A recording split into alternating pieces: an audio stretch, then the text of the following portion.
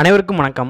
இன்றைக்கி நம்ம இந்த வீடியோவில் என்ன பார்க்க போகிறோம் அப்படின்னா செப்டம்பர் 12 மற்றும் பதிமூன்று ஆகிய இரண்டு தினங்களுக்குரிய நடப்பு நிகழ்வுகள் தான் பார்க்க போகிறோம் இந்த கொஸ்டின்குரிய பிடிஎஃப் லிங்க்கு கீழே டிஸ்கிரிப்ஷனில் கொடுத்துருக்கிறேன். ஸோ வேணுங்கிறவங்க டவுன்லோட் பண்ணி யூஸ் பண்ணிக்கலாம். ஆன்சர் கீக்கு இந்த வீடியோ வச்சு செக் பண்ணிக்கலாம். ஃபஸ்ட்டு திருநெல்வேலி கல்லிடைக்குறிச்சியில் முப்பத்தி ஏழு ஆண்டுகளுக்கு முன்பு திருடப்பட்ட இரநூறு ஆண்டுகள் பழமையான நடராஜர் சிலை எங்கு கண்டுபிடிக்கப்பட்டுள்ளது? ஸோ திருநெல்வேலி கல்லிடக்குறிச்சியில் முப்பத்தி ஏழு ஆண்டுகளுக்கு முன்னால் ஒரு சிலை வந்து திருடு போயிருக்கு. இரநூறு ஆண்டுகள் பழமையான ஒரு நடராஜர் சிலை. இது வந்து இப்போ தற்போது எங்கே கண்டுபிடிக்கப்பட்டிருக்குது அப்படின்னு பார்த்தீங்கன்னா ஆஸ்திரேலியா. ஸோ ஆஸ்திரேலியாவில் இந்த சிலை வந்து இப்போ கண்டுபிடிக்கப்பட்டிருக்குது. கிட்டத்தட்ட எழுநூறு ஆண்டுகள் பழமையான ஒரு சிலை ஓகேங்களா? ஸோ இதை வந்து சென்னை உயர்நீதிமன்ற சிறப்பு விசாரணை குழு பொன் மாணிக்கவேல் தலைமையிலான குழு வந்து பார்த்தீங்க அப்படின்னா இதை மீட்டெடுத்துக்கிறாங்க ஸோ இதே மாதிரியே ஒரு கொஸ்டின் வந்து நம்ம டிஎன்பிசியில் ஆல்ரெடி வந்து கேட்டுக்கிறாங்க ஓகேங்களா? ஸோ சிலை சம்மந்தமாக ஒரு கேள்வி வந்து கேட்டுக்கிறாங்க இந்த திருடப்பட்ட சிலை வந்து எங்கே இருந்துச்சு அப்படின்னா ஆஸ்திரேலியாவில் அடிலைட் அப்படிங்கிற ஒரு இடத்துல ஏஜி எஸ்ஏ அப்படிங்கிற ஒரு அருங்காட்சியத்திலிருந்து மீட்டெடுக்கப்பட்டிருக்குது. தமிழகத்தில் முதல் முறையாக சர்வதேச தரத்தில் கால்நடை ஆராய்ச்சி மையம் எங்கு அமைய உள்ளது? விழுப்புரம்.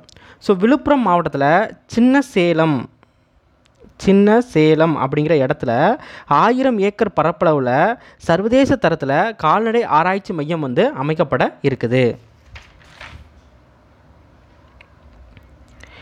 காவிரி கூக்குரல் என்ற இயக்கத்தை தொடங்கியவர் யார்?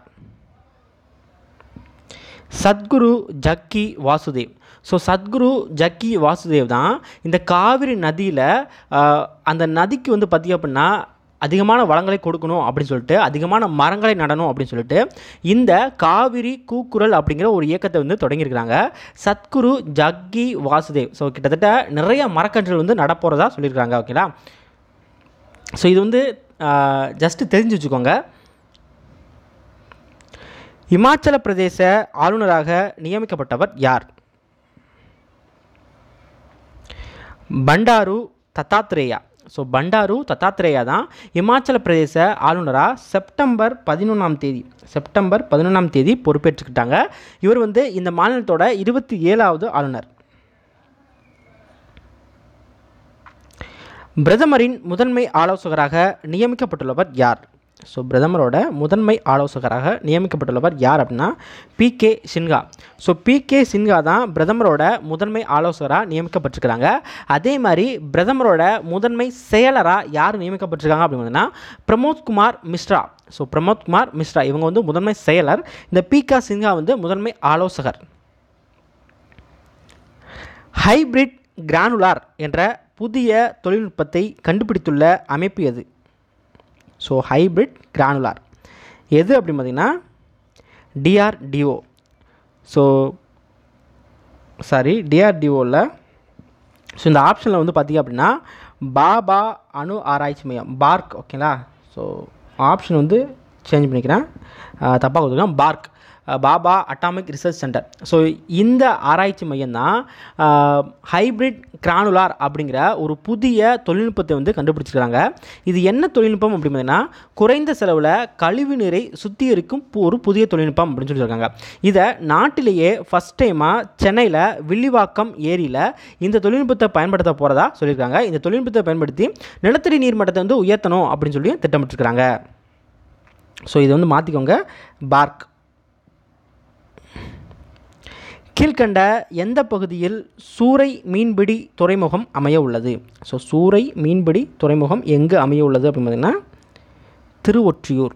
ஸோ திருவொற்றியூர் குப்பத்தில் இரநூறு கோடி மதிப்பில் சூறை மீன்பிடி துறைமுகம் வந்து அமைக்கணும் அப்படின்னு சொல்லிட்டு தமிழக மீன்வளத்துறை அமைச்சராக இருக்கிற டி. ஜெயம ஜெயக்குமார் வந்து அடிக்கல் நாட்டியிருக்காங்க.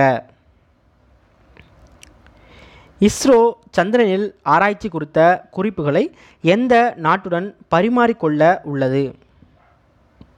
இஸ்ரேல்.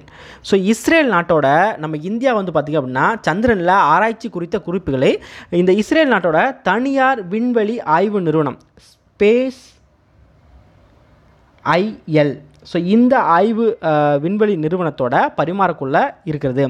ஏன் அப்படின்னா இந்த இஸ்ரேல் நாடு வந்து பார்த்திங்க அப்படின்னா ரீசெண்டாக கடந்த பிப்ரவரி மந்தில் பிப்ரவரி மந்தில் பெரஷித் அப்படிங்கிற ஒரு விண்கலத்தை வந்து நிலவிற்கு அனுப்பியது.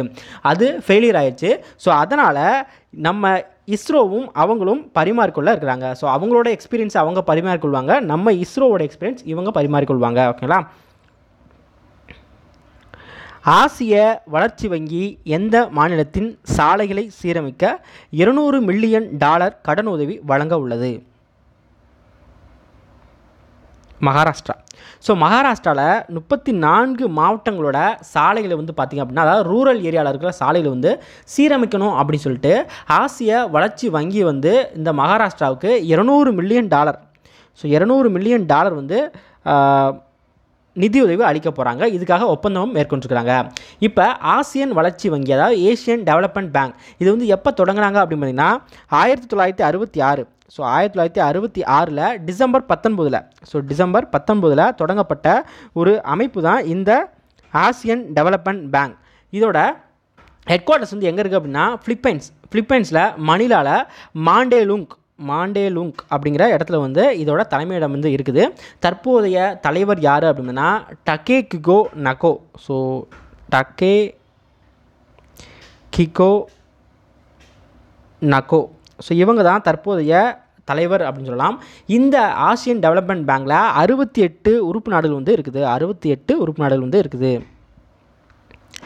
சிறு குறு விவசாயிகளுக்கான ஓய்வூதிய திட்டத்தை பிரதமர் எங்கு தொடங்கி வைத்தார்? ஸோ சிறு குறு விவசாயிகளுக்கான ஓய்வூதிய திட்டம். எங்கே அப்படின்னா ஜார்க்கண்ட். ஜார்க்கண்டில் ராஞ்சி அப்படிங்கிற ஒரு இடத்துல வந்து பார்த்திங்க அப்படின்னா செப்டம்பர் பன்னிரெண்டாம் தேதி பிரதமர் நரேந்திர மோடி இந்த சிறு குறு விவசாயிகளுக்கான ஓய்வூதிய திட்டத்தை வந்து தொடங்கியிருக்காரு. அதாவது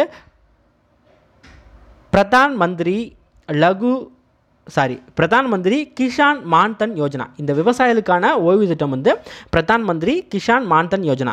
அதே மாதிரியே இன்னொரு ஒரு ஸ்கீமும் வந்து தொடங்கி வச்சுருக்காங்க அது என்ன அப்படின்னு பார்த்தீங்கன்னா வியாபாரிகளுக்கான ஓய்வு திட்டம்.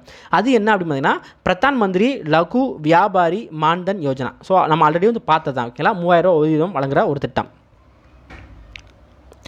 போக்குவரத்து விதிமீறலுக்கான அபராதம் குறைக்கப்பட்டு உள்ள மாநிலங்களின் வரிசையில் தவறானதை தேர்ந்தெடு. கேரளா. ஸோ குஜராத் கர்நாடகா உத்தரகாண்ட். இந்த மூன்று மாநிலங்களும் வந்து பார்த்திங்க அப்படின்னா இந்த போக்குவரத்து விதிமீறலுக்கான அபராதம் குறைச்சிருக்கிறாங்க. ஸோ நம்ம மத்திய அரசு வந்து பார்த்திங்கன்னா ஒரு அபராதம் வந்து விதிச்சாங்க. இப்போ வந்து ஹெல்மெட்டுக்கு வந்து ஆயிரம் ரூபாய் விதிக்கிறாங்க அப்படின்னா இவங்க ஐநூறுரூபா இரநூறுபா இந்த மாதிரி வந்து குறைச்சிட்டாங்க ஓகேங்களா எந்தெந்த மாநிலம் அப்படின்னா குஜராத்து கர்நாடகம் அடுத்து உத்தரகாண்ட் ஓகேங்களா சமீபத்தில் டோரியன் புயல் எங்கு வீசியது? ஸோ சமீபத்தில் டோரியன் அப்படிங்கிற ஒரு புயல் வந்து எங்கு வீசியது அப்படின்னு பார்த்தீங்கன்னா பஹாமஸ். ஸோ அட்லாண்டிக் பெருங்கடலில் அமைஞ்சிருக்கிற ஒரு தீவு தான் இந்த பஹாமஸ் அப்படிங்கிற ஒரு தீவு. இந்த தீவில் டோரியன் புயல் அப்படிங்கிற ஒரு புயல் வந்து வீசியதுனால கிட்டத்தட்ட ரெண்டாயிரத்தி ஐநூறு பேர் வந்து காணாமல் போயிருக்குதா சொல்லியிருக்காங்க. Z Y one zero two D என்ற செயற்கைக்கோளை விண்ணில் செலுத்திய நாடு எது? சீனா. ஸோ சீனாலேயே உருவாக்கப்பட்ட ஒரு மூன்று செயற்கைக்கோள்களை அந்த நாடு வந்து பார்த்திங்க அப்படின்னா லாங் மார்ச் ஃபோர் பி அப்படிங்கிற ராக்கெட் மூலமாக செப்டம்பர் பன்னிரெண்டாம் தேதி விண்ணில் செலுத்தியிருக்கிறாங்க. அதில் ஒரு செயற்கைக்கோள் தான் இந்த Z Y one zero two D அப்படிங்கிற ஒரு செயற்கைக்கோள். கே டூ எயிட்டீன் பி கிரகத்தில் நீர் இருப்பதை ஐரோப்பிய விண்வெளி ஆய்வு மையம் எந்த விண்வெளி ஆய்வு மையத்தின் உதவியுடன் கண்டறிந்துள்ளது? நாசா விண்வெளி ஆய்வு மையம். ஸோ ஐரோப்பிய விண்வெளி ஆய்வு மையம் மற்றும் அமெரிக்காவோட நாசா விண்வெளி ஆய்வு மையத்தோட தொலைநோக்கிகள் வந்து பார்த்திங்க அப்படின்னா ஒரு கண்டுபிடிப்பு கண்டுபிடிச்சிருக்கு. என்ன கண்டுபிடிப்பு அப்படின்னா பூமியைப் போலவே இருக்கிற ஒரு அதாவது பூமியைப் போலவே தட்பவெப்பநிலை எல்லாமே இருக்கிற ஒரு மற்றொரு கிரகம் தான் இந்த கே டூ எயிட்டீன் பி அப்படிங்கிற ஒரு கிரகம் ஒரு கிரகம் ஓகேங்களா இதில் தண்ணீர் இருக்கிறது வந்து இந்த ரெண்டு விண்வெளி ஆய்வு மையத்தை சேர்ந்த விஞ்ஞானிகள் வந்து கண்டுபிடிச்சிருக்கிறாங்க. ஸோ கிட்டத்தட்ட பூமியைப் போலவே இருக்கிற எல்லா வளங்களும் அங்கேயும் இருக்கிறதா சொல்லியிருக்கிறாங்க. டைம்ஸ் நிறுவனம் வெளியிட்ட ரெண்டாயிரத்தி இருபதாம் ஆண்டுக்கான உலகின் சிறந்த உயர்கல்வி நிறுவனங்களின் பட்டியலில் முதலிடம் பிடித்துள்ள கல்வி நிறுவனம் எது? ஆக்ஸ்ஃபோர்ட் பல்கலைக்கழகம். ஸோ ஆக்ஸ்ஃபோர்ட் பல்கலைக்கழகம் தான் இந்த டைம்ஸ் நிறுவனம் வெளியிட்ட ரெண்டாயிரத்தி இருபதாம் ஆண்டுக்கான உலகின் சிறந்த உயர்கல்வி நிறுவனங்கள் பட்டியலில் முதலிடம் பிடிச்சிருக்குது. இந்த ஆக்ஸ்ஃபோர்ட் பல்கலைக்கழகம் வந்து எந்த நாட்டிற்கு சொந்தமானது அப்படின்னா இங்கிலாந்து நாட்டிற்கு சொந்தமானது. அதே மாதிரி செகண்ட் பிளேஸில் வந்து கலிஃபோர்னியா பல்கலைக்கழகம் அமெரிக்கா. தேர்ட் பிளேஸில் வந்து கேம்பிரிட்ஜ் பல்கலைக்கழகம் இங்கிலாந்து. நம்ம இந்தியாவில் வந்து ஒரு நிறுவனம் கூட இருநூறு அல்லது முந்நூறு ரேங்க்குள்ளே வந்து போகவே இல்லை. நம்ம இந்தியாவை சேர்ந்த ஐஐஎஸ்சி அதாவது Indian institute of science institute எங்கே இருக்குது அப்படின்னா பெங்களூரில் இருக்குது. இந்த நிறுவனம் மட்டும்தான் முந்நூறுலேருந்து நானூறுக்குள்ளே போயிருக்குது ஓகேங்களா முந்நூறுலேருந்து நானூறுக்குள்ளே போயிருக்குது. கரெக்டாக வந்து ரேங்க் வந்து கொடுக்கல ஓகேங்களா ராமேஸ்வரம் குந்துகால் கடல் பகுதியில் கடல் நீர் பச்சை நிறத்தில் காணப்படுவதற்கு காரணமான பாசி எது? ஸோ ராமேஸ்வரம் குந்துகால் கடல் பகுதியில் கடல் நீர் பச்சை நிறத்தில் காணப்பட்டதற்கான காரணமான பாசி எது? ஸோ ஆப்ஷன் ஏஎன்பி அதாவது பூங்கோரை பாசி ஆள்கள் ப்ளூம் ரெண்டுமே ஒன்று தான் ஓகேங்களா ஸோ தமிழில் வந்து பூங்கோரை பாசி அதுவே அறிவியல் பேர் அப்படின்னா ஆள்கள் ப்ளூம் அப்படிங்கிறது. அதாவது ராமேஸ்வரம் பக்கத்தில் குந்துகால் அப்படிங்கிற ஒரு கடல் பகுதியில் கடல் நீர் வந்து பார்த்திங்க அப்படின்னா திடீர்னு பச்சை நிறத்தில் வந்து காணப்பட்டது. இது காரணமான பாசி என்ன அப்படின்னு பார்த்தீங்கன்னா பூங்கோரை பாசிகள். ஸோ இந்த பாசிகள் தான் இந்த கடல் பகுதியில் காணப்பட்டதால் இ- அந்த இடத்துல மீன்களும் வந்து இறந்துருக்குதா சொல்லியிருக்கிறாங்க. கீழ்கண்ட எந்த அமைப்பு மண் குவளையில் தேநீர் வழங்கும் திட்டத்தை நடைமுறைப்படுத்த உள்ளது? இந்திய ரயில்வே. ஸோ இந்திய ரயில்வே தான் மண் குவளையில் தேநீர் வழங்கும் திட்டத்தை வந்து நடைமுறைப்படுத்த இருக்கிறதா சொல்லியிருக்கிறாங்க. ஸோ இதோட இன்றைய நடப்பு நிகழ்வு முடிஞ்சு நன்றி.